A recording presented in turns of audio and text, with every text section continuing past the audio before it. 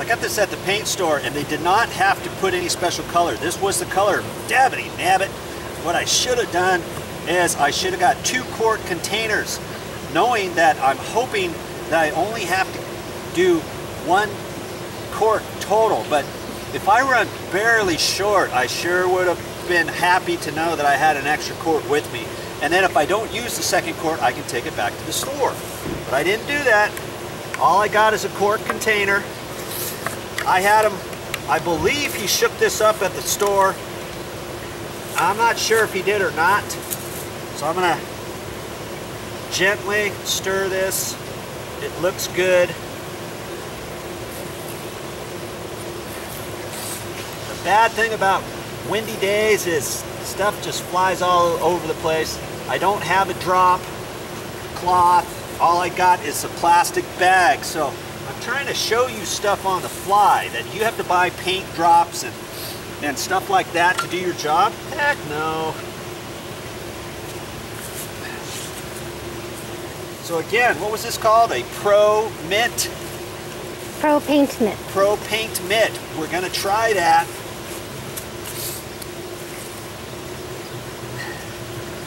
So Joe, you've never seen anybody else try it before? I've never, out of all my years of, of watching subcontractor painters do projects, I've never seen anybody use a Pro Mitt. And I'm doing it from the back side because I don't want to I don't want to mess up the front of this in case I ever need some more. I can at least read this later on down the road. I'm just going to start with a little bit, I think. I have to be careful with this see how this goes with this. I'm kind of anxious to try this.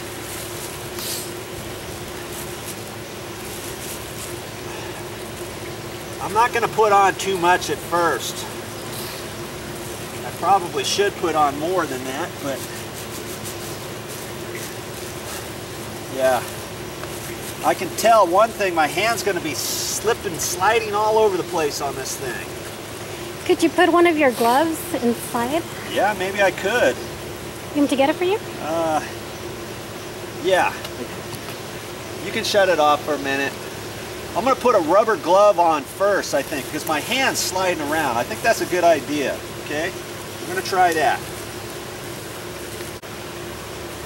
And this paint glove is a one size fits all, apparently. This might give me a little bit more grip.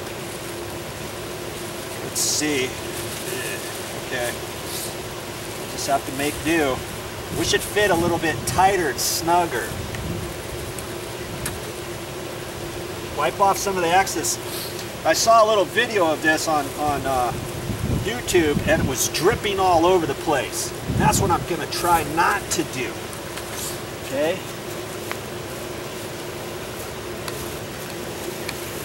I don't know about this. Guess I can hang on to it down here and control it with my left hand as I put it on with my right hand. What How about, about, a rubber band, What about that? Would that help? This, a rubber band? This, I think this is working. What do you think? It looks good from here. Now see, I know I'm going to have to put on extra uh, because in some places I paint it or I sand it all the way down to nothing. And so I'm just going to have to be mindful of that.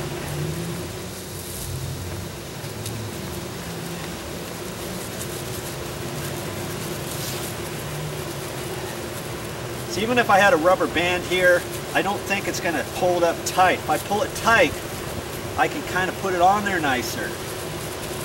Bet you they don't show you that in the directions. Now I can just kind of get it on the tip and just use my hand as a paintbrush because on the video they were showing your go like that, but it, it rolls on you. I don't like that. I still like the idea of this. Okay.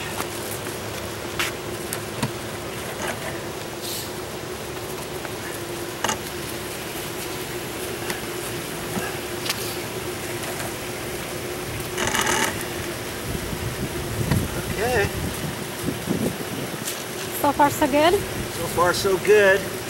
I'm gonna have to, I'm not gonna worry about the very bottom. I'm gonna have to do that with the paintbrush. I'll have to come back, The main thing I want to do is get the body on here so it can start drying. And then if I have to touch it up in certain areas, I will. I was thinking maybe I could get by with one coat, but I don't think so. This looks like a two coat process for sure. Okay. Even if your paint says one, you know, a double cover or whatever, I guess that's depends how much sanding you're going to do to the existing and all that. But if I didn't do it this way, and I have to do it with a little paintbrush or a little mini roller, and I don't think it would go on as quickly and as evenly. So, you know, all in all, I think this is gonna be the ticket that I'm gonna use for the whole project for the majority of the paint. Liking that. This is a gloss paint, so it's gonna dry glossy. So I'm just using my hand as a paintbrush. Just stroke it in there. Don't don't roll it around. This is how they show you how to do it on the video. But see, then it then it starts wiping off different places. So I'm kind of inclined to say, don't do it that way. Now I can get nice even strokes on here, just putting it on like this. A little dab will do ya. And if I miss a few different little areas, I don't get it 100% perfect, then when I do the second coat, that's gonna clean up any questionable areas. Okay? Hey, see? I told you you didn't have to be a painter to do this. Get yourself one of these little pro mitts.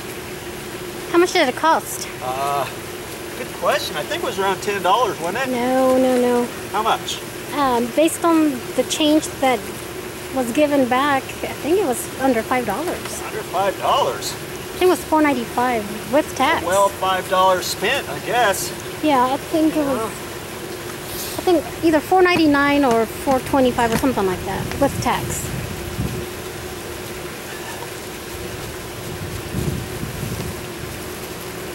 So Joe, one question for you. You're not using the thumb portion of that, like Not, not really.